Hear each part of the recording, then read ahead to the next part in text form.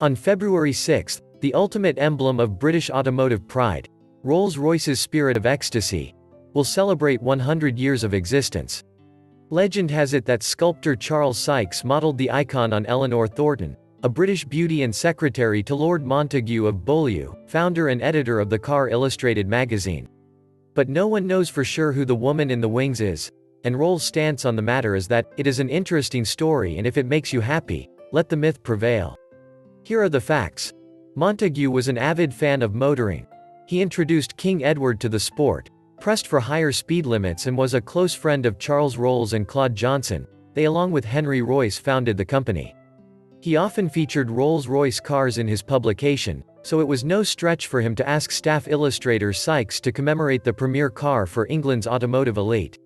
The Rolls-Royce board of directors at the time had publicly voiced its displeasure of the gauche hood ornaments, fat policemen, for instance, that currently sat atop its vehicles. So Montagu told Sykes to fashion something that would embody, speed with silence, absence of vibration, the mysterious harnessing of great energy and a beautiful living organism of superb grace.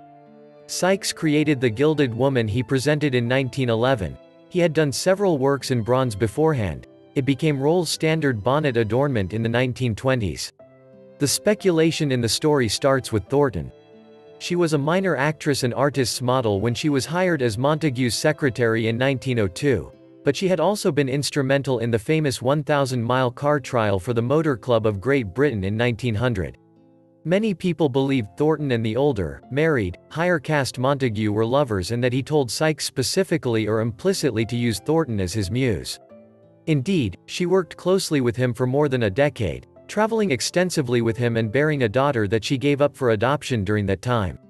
Thornton was the inspiration for many of Sykes's earlier drawings, paintings and bronzes. They were co-workers at Montagu's magazine, after all, appearing on several covers and as Alice in a serialized spoof called Alice in Motorland. A bronze statue that Sykes created for Montagu in 1911 is thought to symbolize the secret love and was used as the mascot for the Baron's personal car. Called, The Whisperer, it showed a woman, widely agreed to be Thornton, in a thin flowing dress with one leg in the air and holding her finger to her lips. The similarities between the Whisperer and the Spirit of Ecstasy are unmistakable. You can buy an enlarged version of the original here for $12,500. The tragic twist to the story is that Thornton died at sea in 1915 on a return trip from India. She and Montagu had traveled there together during World War I, and her ship, the SS Persia, was struck by a torpedo. Montagu survived.